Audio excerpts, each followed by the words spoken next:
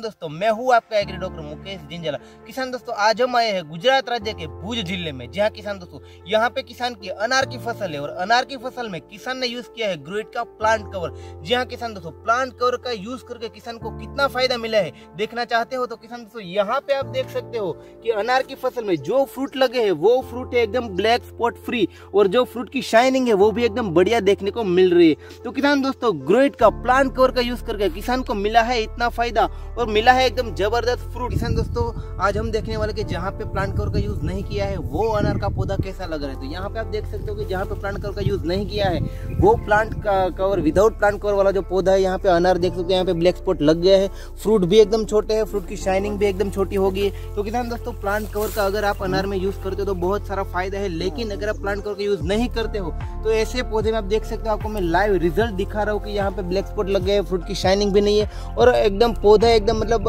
Paste और disease से एकदम अफेक्टेड हो गया है। तो किसान दोस्तों से मेरी नम्र गुजारिश है कि आपके अनार की अगर खेती कर रहे हो तो उसमें प्लांट कवर का यूज़ कीजिए और एकदम बेहतरीन फ़सल पाइए। तो किसान दोस्तों, राह किस बात की देख रहे हो? अगर आपको अनार की फ़सल है तो अनार की फ़सल में ग्रोइड का प्लांट कवर यूज़ कीजिए और अनार की फ़सल में एकदम बढ़िया